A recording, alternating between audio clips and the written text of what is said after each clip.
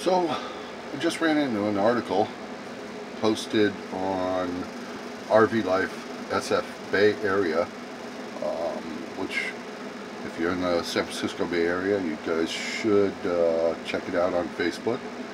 A one of the posters, Miles Darwood, actually posted this article, and, it's very important to most of us who are staying in a van, um, whether it be uh, just during the work week or on, on a more permanent basis. Um, this is kind of interesting.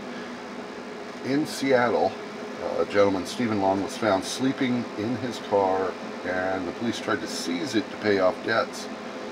But the King County Superior Court Judge Catherine Shaffer ruled that the fees the police had tried to apply represented an insurmountable burden and that his home, very important part, should not be taken to satisfy the debt.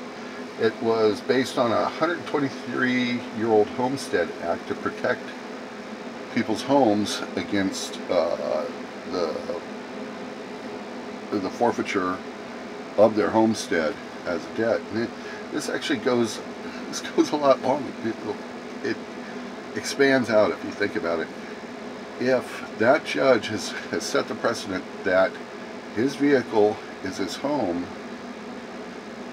then how does this affect a number of other laws, such as um, search and seizure laws?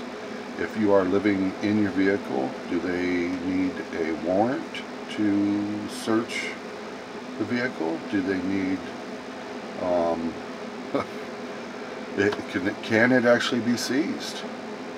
I think we're probably going to see this carried on even further to uh, the state court and maybe even uh, federal court as more and more people are moving toward living uh, a mobile lifestyle.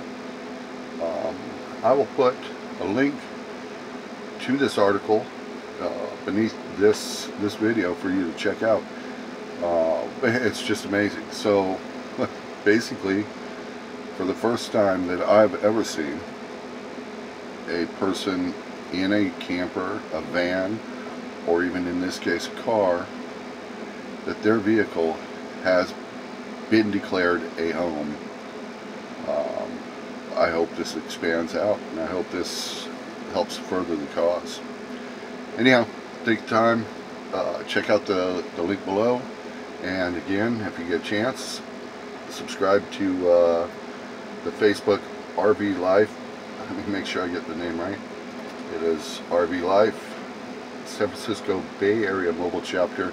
I know they're very discriminating. Um, if you live in the Bay Area, more than likely you will be able to uh, get on, but it, it, really pertains to the Bay Area mobile people. So if if you aren't allowed to join, it, it's probably due to that.